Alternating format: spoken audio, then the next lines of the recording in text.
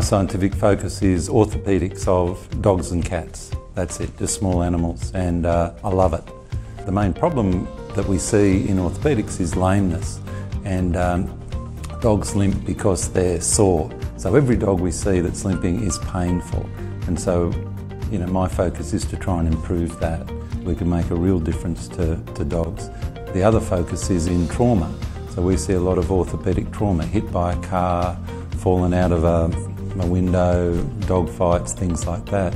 And so these animals come in, they're really badly injured, the family, uh, the owners are traumatised, and um, it's a real high pressure situation. The family pet bond is very, very strong, and uh, anything we can do to help that, you know, that's part of what drives me.